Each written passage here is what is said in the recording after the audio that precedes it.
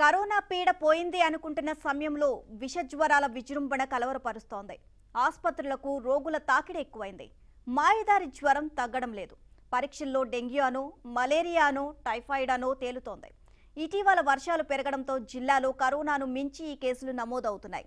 సర్కార్ దవాఖానాల్లో బాధితులు పెరుగుతున్నారు. ఒకే బెడ్పై ఇద్దరు రోగులకు గ్లూకోజ్ ఎక్కిస్తున్న దృశ్యాలు మంచాలు లేక బెంచీలు నేల మీద పడుకోబెట్టి ఇలా చేస్తున్న దృశ్యాలు కనిపిస్తున్నాయి. డెంగీతో కొన్ని చోట్ల మరణాలు సంభవిస్తుండడం తీవ్ర ఆందోళన కలిగిస్తుంది.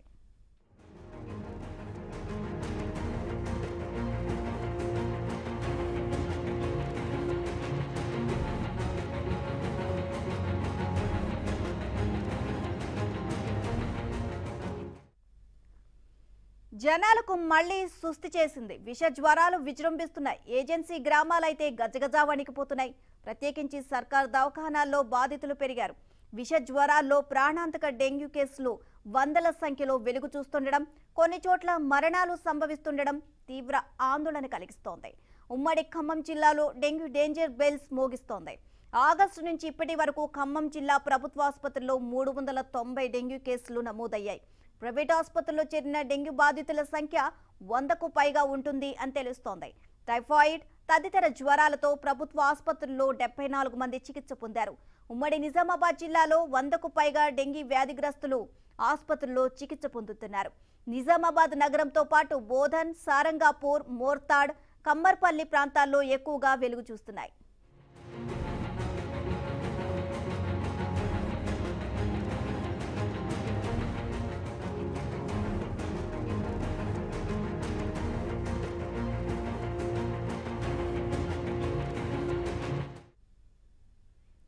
ఉమ్మడి నల్లగొండ జిల్లాలో రెండు వారాల నుంచి ప్రతిరోజు సగటున ఎనభై డెంగీ కేసులు నమోదవుతున్నాయి.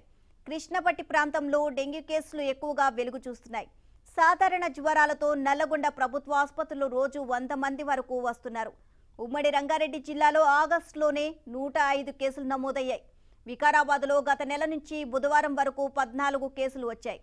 మేడ్చల్ మల్కాజిగిరి జిల్లాలో ఆగస్టు నుంచి ఇప్పటి వరకు నూట నలభై రెండు మంది డెంగ్యూ బారిన పడ్డారు.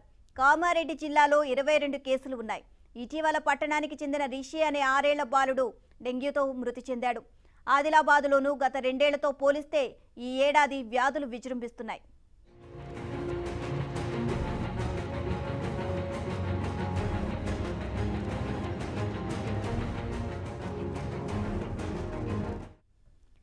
ఈ నెల రెండవ తేదీ నుంచి నూట ఆరు డెంగ్యూ కేసులు నమోదయ్యాయి. రిమ్స్లో బెడ్లు సరిపోక ఒక్కో పడకపై ఇద్దరే రోగులకు చికిత్సలు అందించాల్సిన దుస్థితులు నెలకొన్నాయి.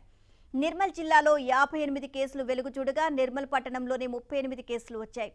జిల్లా ఆసుపత్రిలో ఎస్పీడీ ప్లేట్లెట్స్ సౌకర్యం లేక పేద రోగులు వెలువెల్లాడుతున్నారు కుబీర్ మండలం రాజురా గ్రామానికి చెందిన గడ్పాలే ప్రీతి అనే బాలిక బుధవారం డెంగ్యూతో మృతి చెందింది. కరీంనగర్ జిల్లాలో రోజుకు పదిహేను మంది విష జ్వరాల బారిన పడుతున్నారు. జగిత్యాలలో వంద మందికి పైగా జ్వర పీడితులు చికిత్స పొందుతున్నారు.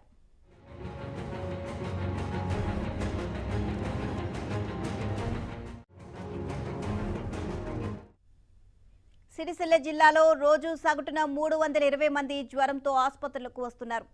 ఆసిఫాబాద్లో ఇప్పటి వరకు యాభై డెంగ్యూ ముప్పైకి పైగా మలేరియా కేసులు నమోదైనట్లు అధికారులు తెలియజేశారు. మంచిర్యాల ప్రభుత్వ ఆసుపత్రుల్లో జ్వరంతో మూడు వందల మంది దాకా చికిత్స పొందుతున్నారు. ఉమ్మడి వరంగల్ జిల్లాలో ఒక్క ఎంజీఎంలోనే రెండు వందల డెబ్బై నాలుగు మంది చిన్నారులు విష జ్వరాలకు చికిత్స పొందుతున్నారు.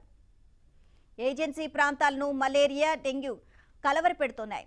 జిల్లా వ్యాప్తంగా ఇప్పటి వరకు మూడు వేల ఏడు వందల ఎనభై ఏడు సాధారణ జ్వరాల కేసులు నమోదైనట్లు అధికారులు తెలియజేశారు. ములుగు జిల్లాలో ఇప్పటిదాకా నూట ముప్పై ఐదు మలేరియా కేసులు వచ్చినట్లు చెప్తున్నారు. జనగామ జిల్లాలో తొమ్మిది డెంగీ ఐదు మలేరియా కేసులు వచ్చాయి. మహబూబాబాద్లో ఇప్పటి వరకు ఇరవై మూడు డెంగ్యూ పంతొమ్మిది మలేరియా ఐదు టైఫాయిడ్ కేసులు నమోదయ్యాయి.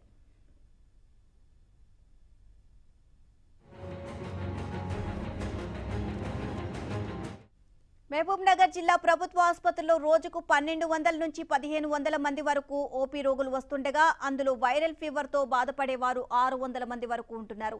గద్వాల్ జిల్లాలో ఆగస్టు నుంచి నూట ఇరవై ఎనిమిది డెంగీ అరవై ఎనిమిది మలేరియా డెబ్బై ఒక్క డయేరియా ఒక వెయ్యి నూట ఇరవై ఆరు టైఫాయిడ్ కేసులు నమోదైనట్లు ఆసుపత్రి సూపరింటెండెంట్ కిషోర్ కుమార్ తెలియజేశారు వనపర్తి జిల్లాను ఈ నెలలోనే యాభై డెంగ్యూ కేసులు వెలుగు చూశాయి. సంగారెడ్డి జిల్లాలో డెబ్బై రెండు డెంగ్యూ ముప్పై తొమ్మిది టైఫాయిడ్ కేసులు వచ్చాయి. మెదక్ జిల్లాలో రోజుకు సగటున తొంభై చొప్పున వైరల్ ఫీవర్ కేసులు వస్తున్నాయి.